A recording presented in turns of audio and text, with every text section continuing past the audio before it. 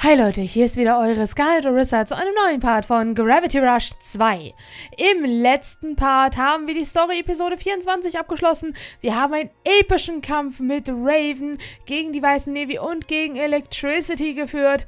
Und leider haben wir verloren auch Junika, die ganze Armee, Commander Yuri, Perme. Sie sind alle, ja, besiegt.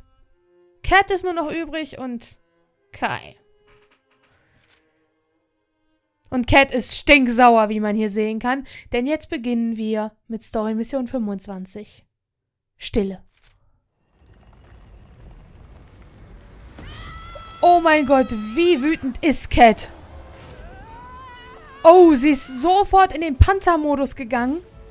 Aber da sind doch so viele Electricity. Wie soll sie das denn schaffen?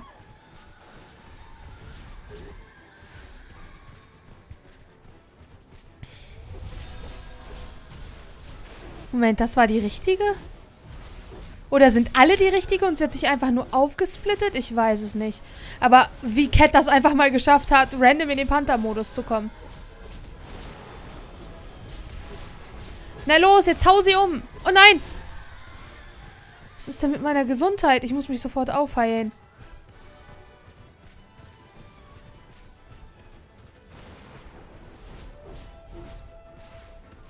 So, Moment.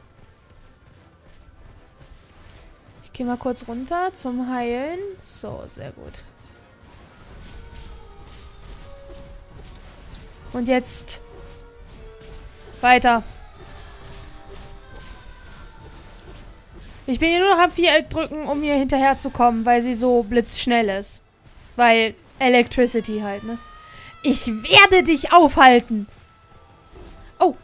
Achso, ich muss näher ran. Okay. Und jetzt. Jetzt geht's los. Cat führt einen grandiosen finalen Schlag aus. Und. Wow, sie ist richtig pisst. Und. Oh nein. Sie hat sich total verausgabt. Da bist du wieder. Du hast alles versucht. Gib jetzt endlich auf. Du wirst es nicht verstehen, aber ich will versuchen zu erklären, warum es geschehen muss. Lange Zeit dachte ich darüber nach, wie man diese Welt heilen könnte. Dann sah ich alles im Traum.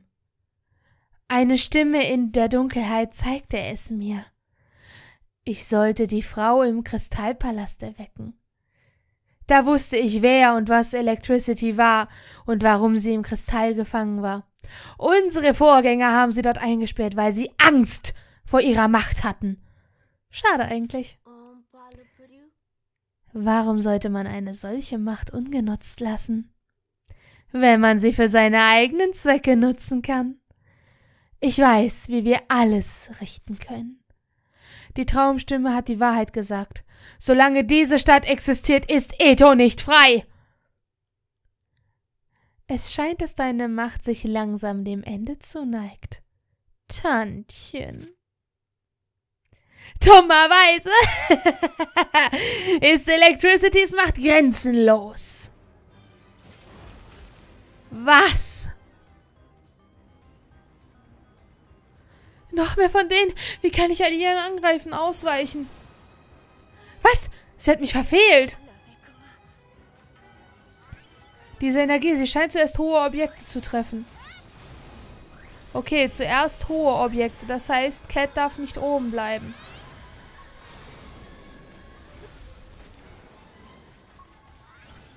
Ah, die Raketen, genau.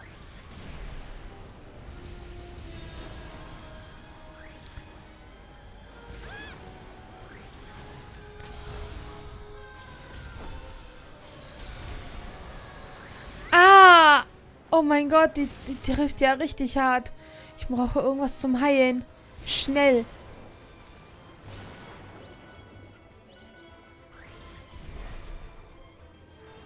Oh, die Musik ist gerade so schön.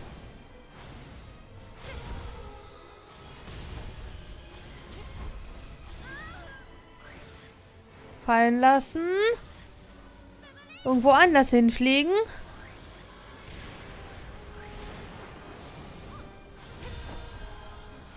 Diese Angriffe bringen überhaupt nichts.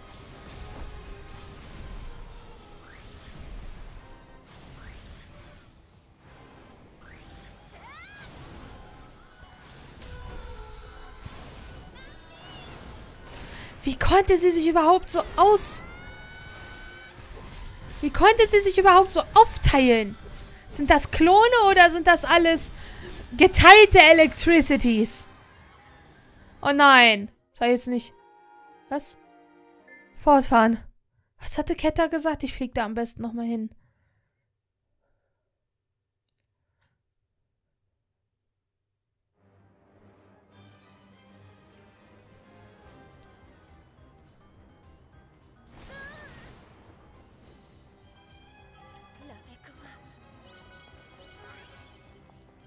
Sie scheint zuerst hohe Objekte zu treffen. Das heißt, wir gehen am besten direkt in den Park.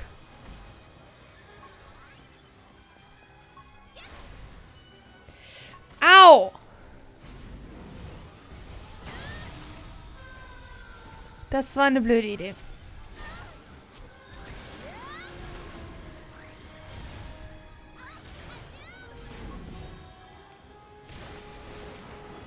Oh, verflixt. Wo ist jetzt was zum Heilen?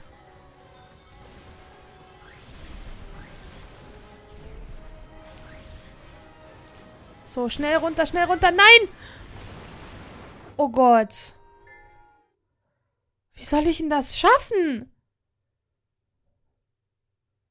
Das kann ich gar nicht gewinnen, oder? Oder muss ich nur durchhalten? Ich habe keine Ahnung. Ich versuche erstmal mit durchhalten weil ich sehe auch keine, sehe auch keine Gesundheit, gar nichts. Ja, ja, nochmal die Szene. Ist es gut.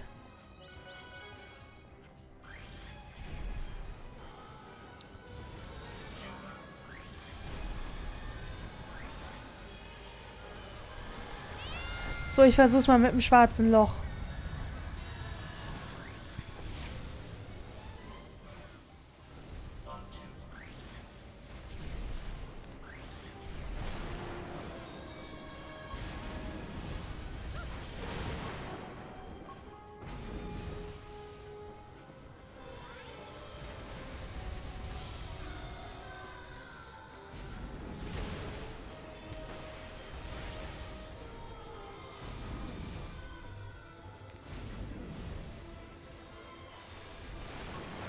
Weiche mal lieber aus. Hey, da ist ja noch eine Rakete. Sehr gut.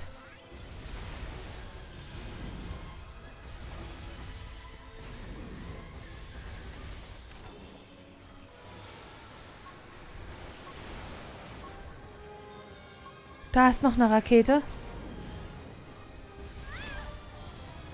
Verflucht. So, aufheilen und nach einer Rakete suchen. Wenn hier noch irgendwo welche sind. Ich muss sofort davon weg. Ausgewichen. Cat, Cat! Diese Stimme zieht ja näher? Gravi-Königin, fall nicht auf das falsche Licht herein. Falsches Licht? Ich gewähre dir die Macht, klaren Blicks die Wahrheit zu erkennen. Als Traumwächter ist das meine letzte Aufgabe. Jetzt liegt es an dir, die Welt zu beschützen. Cyanea? Cat, ich hatte einen seltsamen Traum. Sie ist wieder aufgewacht. Also, sie ist jetzt nicht die Schöpferin Cyanea sondern, oder Traumwächter Cyanea, sondern die richtige. Jemand sagte, ich müsse Lebewohl sagen. Ich werde dich sehr vermissen. Vielleicht sehen wir uns wieder. Ihr deutet doch jetzt nicht an das Cat. Nein. Leb wohl. Ach so, weil Cyanea... Oh nein. Weil sie ihre letzte Kraft opfert. Oh. Die leuchtet anders. Ich glaube, die ist das. Besiege die echte Electricity. So, wo ist sie denn da?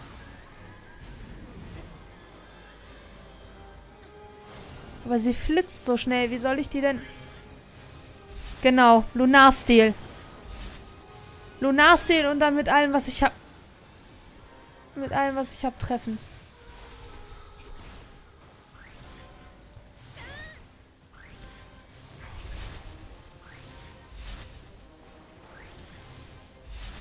Das Problem ist, dass Electricity so schnell hoch kann. Was ist überhaupt mit den anderen? Kann ich die anderen denn überhaupt irgendwie besiegen?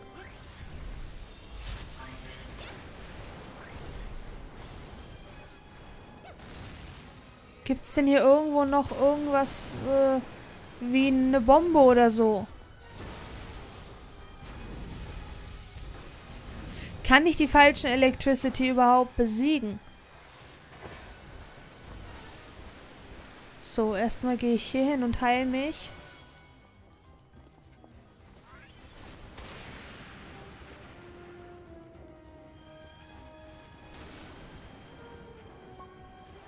Da ist eine Rakete, sehr gut.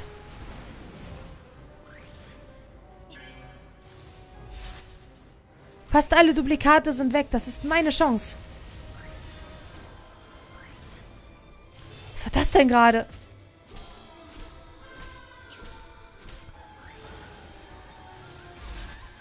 Na komm schon.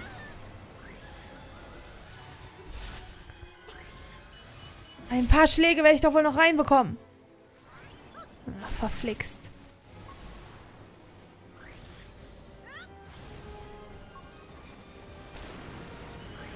Au! Panther-Modus. Sofort.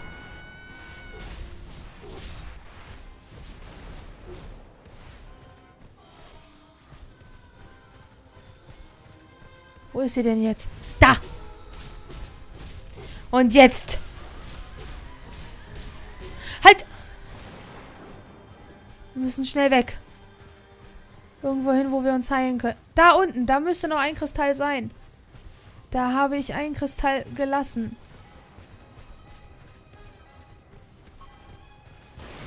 Wobei hier auch einer war. Ah!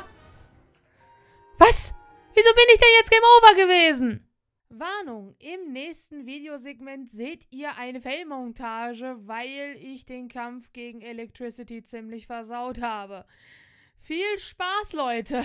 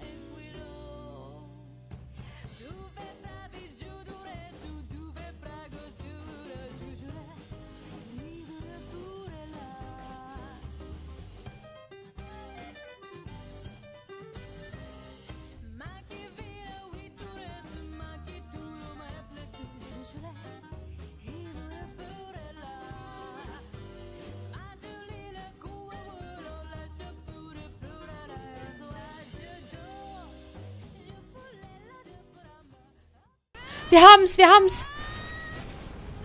Wir haben's geschafft. Oh mein Gott. Oh, der Himmel hat sich auch wieder aufgeklärt.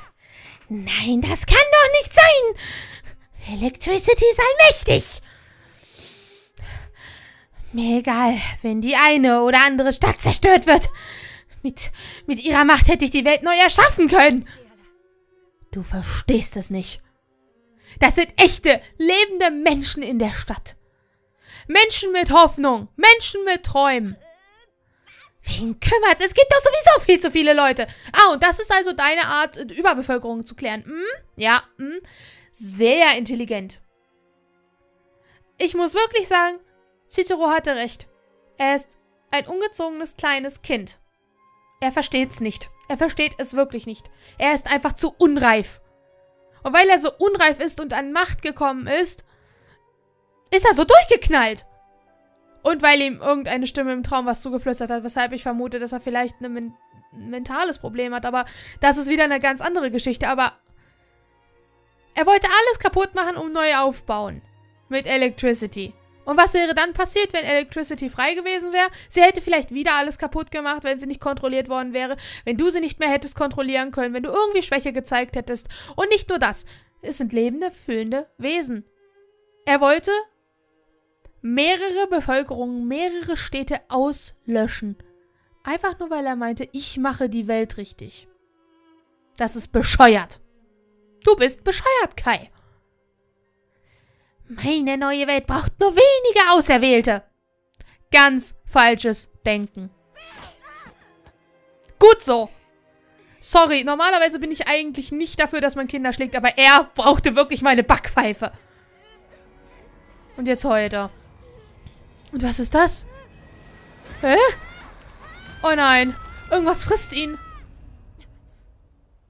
Also ich meine, er hat, er hat eine Backpfeife verdient gehabt, dass er mal zur Besinnung kommt, aber... Aber dass er gefressen wird von irgendeinem so Düsterviech? Ist das vielleicht ein Nevi? Oh Gott, wenn ein Nevi ihn gefressen hat. Ihr habt euch gezeigt.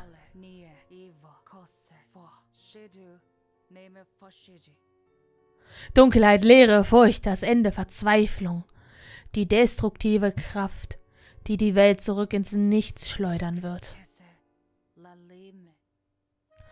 Es gibt nur einen Weg, das Licht vor der Dunkelheit zu schützen. Du bist dieser Weg. Ich kenne diese Klamotten irgendwoher. Ihr vielleicht auch? Ich denke, es ist ganz gut, es mit einem Cliffhanger enden zu lassen. Ich habe ein bisschen viel Mist gebaut und deswegen, ja, setze ich das Ganze im nächsten Part fort. Bis dann, Leute. Bye, bye.